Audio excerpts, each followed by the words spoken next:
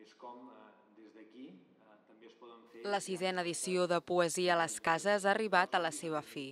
El dissabte 6 de novembre es va celebrar la cluenda del cicle. Es va fer amb el mateix format com va començar, un músic i un cantautor.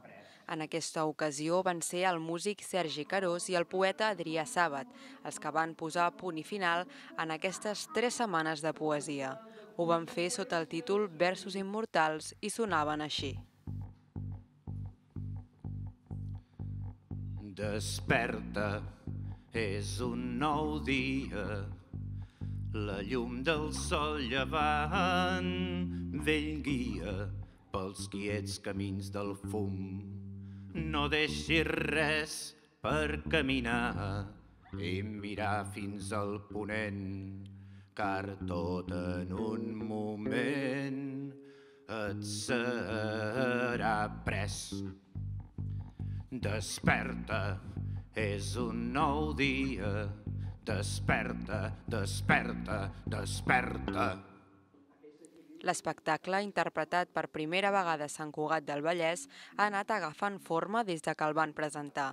Actualment, els poemes i la música també van acompanyats d'imatges que es projecten darrere dels artistes. Durant el recital es van poder escoltar poemes del gran Ausias Marc, de Salvador Espriu i d'ell mateix, Adrià Sàbat.